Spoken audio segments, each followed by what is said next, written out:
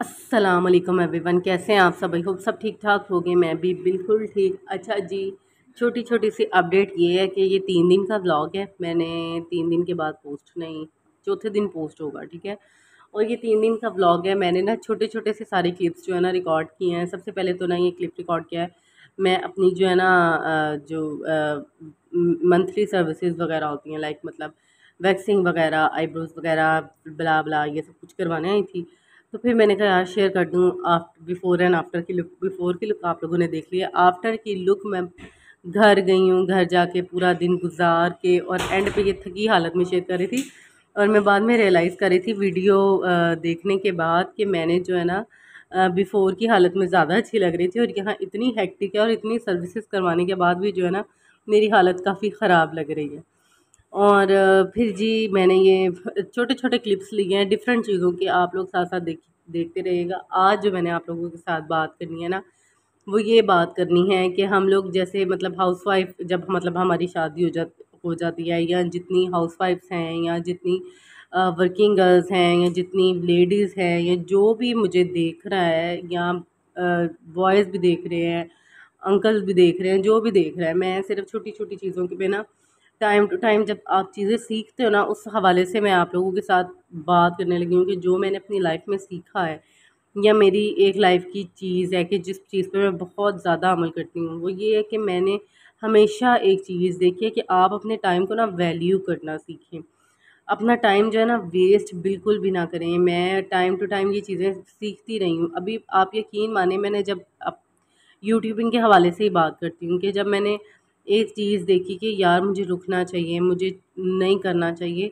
कुछ भी ऐसा नहीं आपने करना। आपने हमेशा अपनी लाइफ में ना स्टॉप नहीं लगाना कभी भी और अपना टाइम भी कभी भी ज़ाया नहीं करना। आप, मैं अक्सर एक चीज़ पढ़ती हूँ और ये बहुत ज़्यादा कोटेशन काफ़ी लोगों ने पढ़ी होगी कि आपका, आपके पास ना छः महीने होते हैं काम करने के लिए और उन्हीं छः महीनों में आप प्रोग्रेस कर सकते हो और वही छः महीनों में आप लोग जो है ना रुक के जो है ना बिल्कुल बस कर्स कर सकते हो। यानी हम लोग अपना टाइम ज़ाया ना करें और टाइम को जो है ना यूटिलाइज़ करके अपने लिए कोई थोड़ी सी प्रोग्रेस आप कुछ नहीं करोगे ना, आपके लिए लाइफ में बहुत सी प्रोग्रेस होगी और हमें ना वक्ती तौर पे अपनी प्रोग्रेस समझ नहीं आती काम करने से। मतलब हम समझते हैं, यार ये छोटे छोटे कामों से हमारी क्या प्रोग्रेस होनी है क्या कुछ होना है? कुछ भी नहीं होना। हम लोग जो है ना, एवं लगे हुए हैं, कोई हमारे लिए प्रोग्रेस नहीं हो रही, लेकिन वो छोटी छोटी सी प्रोग प्रोग्रेस जो है ना, हमें आफ्टर कुछ टाइम समझ आती है कि यार, ये जो हमने ये काम किया था, इसने हमारे लिए क्या इम्पेक्ट छोड़ा है और इसका क्या इम्पेक्ट हमारी लाइफ में आया है। अच्छा मैंने जो है ना, यहाँ लगाया था शीट मास्क ये ना, मैं रैंडमली ना चेज़अप से लेके आई थी, मुझे तकरीबन वन थर्टी फाइव या वन फिफ्टी का मिली, मिला था, और ये कोई ना कोरियन शीट मास्क है, और इसका पता है क्या सीन है? इसका सीन ये है कि ना आप लोग इसको लगाओ और लगा के उतार दो। मतलब शीट मास्क के रिव्यूज़ तो मैंने काफ़ी ज़्यादा शेयर किए हैं। काफ़ी लोगों ने मेरी शीट मास्क की वीडियोस देखी होंगी और काफ़ी चीज़ें देखी होंगी। तो ये भी एक नॉर्मल सा शीट मास्क है। आप इसको कह सकते हो कि ये एक ऐसा शीट मास्क है जिसमें मतलब अच्छा इसकी शीट जो है ना, जो मतलब मैंने फेस पे लगाई थी, अगर किसी ने कंप्रेस्ड शीट मास्क यूज़ की हो ना जो मनीसो से मिलते हैं लाइक शीट मास्क का पैकेट मिलता है। छोटे छोटे से पैकेट होते हैं कैप्सूल की तरह के पैकेट होते हैं।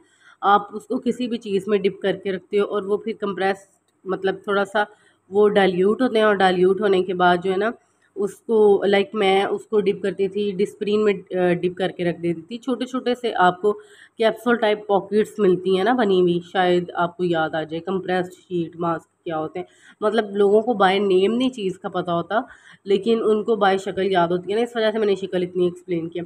अच्छा उनकी क्वालिटी भी अच्छी होती है। इस कोरियन शीट मास्क की ना पेपर क्वालिटी अच्छी नहीं थी। मतलब मुझे ये आप देख सकते हो, देखने में लग रहा है कि ये मैंने ना लगाया हुआ है, जैसे ना कोई वो आपको पिंक कलर के टिश्यूज़ याद हैं जो हम लोग नॉर्मली जो बड़े सस्ते वाले टिश्यूज़ होते हैं, ये बिल्कुल मुझे वैसा फ़ील हो रहा था और मतलब आपको लगाया हुआ भी ये वैसा फ़ील हो रहा होगा। तो ये आप लोग कहीं से भी ये मेरा हाल रैंडमली अवेलेबल होते हैं। अच्छा यार, वैसे मैं आप लोगों को एक बात बताऊँ, ये पेपर क्वालिटी इसकी अच्छी नहीं थी, लेकिन ये वैसे एक अच्छा शीट मास्क था, यानी जैसा एक शीट मास्क को होना चाहिए। Hydrating refreshing full of serum और अगर आप लोगों की नॉर्मल स्किन है ना मतलब आपकी स्किन पे कोई मसले नहीं होते और मतलब इरिटेटेड नहीं हो जाती दाने नहीं निकलते तो आप इस तरह की चीज़ें जो है ना ले सकते हो और आप लोग इस इस तरह की चीज़ों के साथ है ना अपने फेस पे एक्सपेरिमेंट कर सकते हो। लेकिन अगर आपकी स्किन लाइक ऐसी है कि आपको दाने ब्रेकआउट्स और ये मसले हो जाते हैं ना तो आप लोग जो है वो आ, ना लीजिएगा। और अच्छा फिर मैं अपनी टाइम वेस्टिंग के बारे में बात कर रही थी। मैं आप लोगों को एक बात बताऊँ, कुछ टाइम हमें ऐसा लगता है कि हम लोगों ने अपना बहुत सा टाइम वेस्ट कर दिया। तो हर चीज़ में ना अल्लाह ताला की मर्ज़ी होती है। जो काम आपने करना होता है, वो अल्लाह ताला की विल से होता है। हमारा बाज़ का किसी टाइम में टाइम वेस्ट नहीं भी हो रहा होता। किसी टाइम में ज़रूरत होती है इंसान को टाइम वेस्ट करने की। यार, कि हमारा इस चीज़ में टाइम वेस्ट होना ही होना है। मतलब जैसे, अब मैं आपको यूट्यूबिंग के हवाले से बात करती हूँ कि मैंने माशाल्लाह माशाल्लाह कह दीजिएगा यहाँ पे।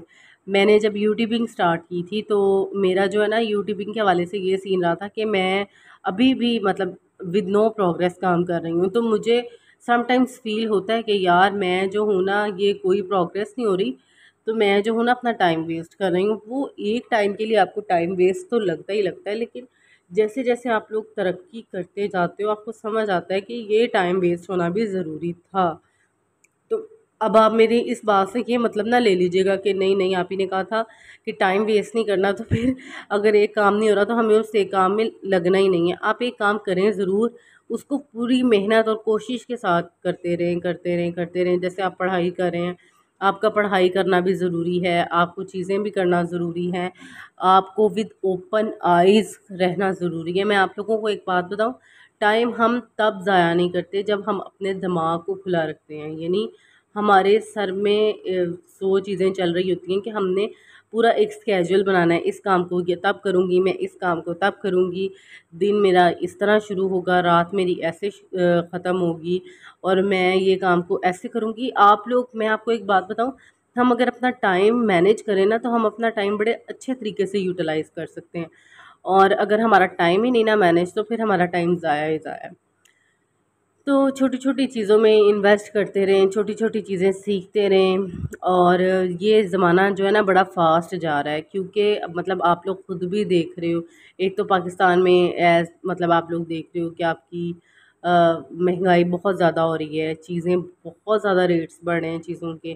तो हमें छोटी छोटी अपनी जो है ना तौर पे कोशिश करने की ज़रूरत है कि हम लोग जो है ना कहीं ना कहीं छोटे छोटे काम करें। अगर आप लोगों को कुछ नहीं आता, आप लोग पढ़े लिखे नहीं हो, आप लोग अपने लिए जो है ना सिलाई का काम कर लें, बच्चों को ट्यूशन पढ़ा लें, इस तरह की छोटी छोटे आप लोग जो है ना, अपनी लाइफ की बेहतरी के लिए काम कर सकते हो।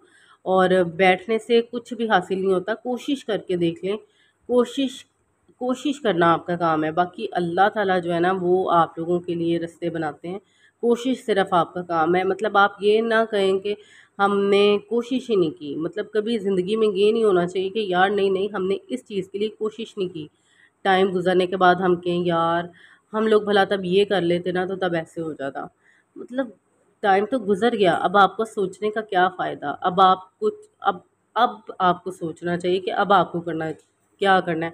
और हमारी वैसे एक सबसे बड़ी बात यह हम ना चीज़ें करने से घबराते हैं, डरते हैं, काम करने से डरते हैं। पता नहीं क्यों यार हम लोग काम करने से डरते हैं, चीज़ें करने से डरते हैं। अब देखें मतलब एक चीज़ नहीं हो रही आपकी लाइफ में तो आप डीमोटिवेट क्यों हो रहे हो? मतलब किस, क्या वजह है? मतलब आप करना नहीं चाहते। अगर करना नहीं चाहते तो छोड़ दें, और अगर करना चाहते हो तो फिर डीमोटिवेट भी ना हो, दिल भी ना छोड़ें, दिल को बड़ा रखें। दिल बड़ा करना ना बड़ा ज़रूरी होता है, ये ज़िंदगी गुजारने के लिए। जो बेहतरीन चीज़ है ना, वो आपका ये है कि आपने दिल बड़ा करके ज़िंदगी गुजारनी है। नहीं तो ज़िंदगी गुजारना बड़ा मुश्किल हो जाता है अगर आप अपना दिल नहीं बड़ा करते। छोटे छोटे दिल के साथ ना ज़िंदगी नहीं गुजरती।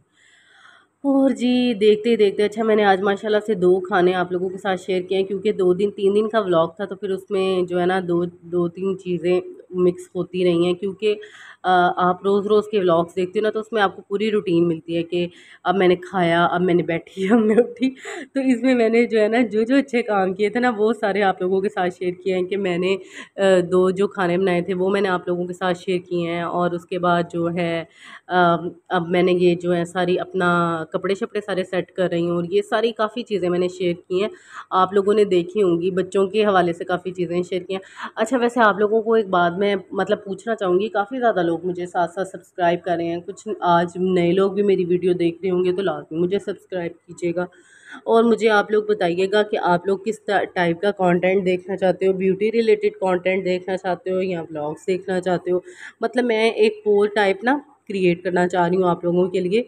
और आपने इसका आंसर मुझे करना है कमेंट सेक्शन में लाजमी। और यार मेरी वीडियोस को आप लोग ज़्यादा लाइक किया करो। अक्सर व्यूज़ होते हैं लेकिन लोगों ने लाइक नहीं किया होता। तो आप लोग लाइक करोगे ना तो मेरी वीडियोस की जो है रैंकिंग भी थोड़ी अच्छी हो जाएगी। चलो आप देखते हो तो थोड़ा इससे मुझे भी फ़ायदा हो जाएगा कि मेरी वीडियोज़ की रैंकिंग अच्छी हो रही है। तो लाजमी जो है ना मेरी वीडियो को आप लोग लाइक शाइक कर दिया करो। और सब्सक्राइब भी कर दिया करो। और कमेंट्स भी कर दिया करो। अच्छा जी।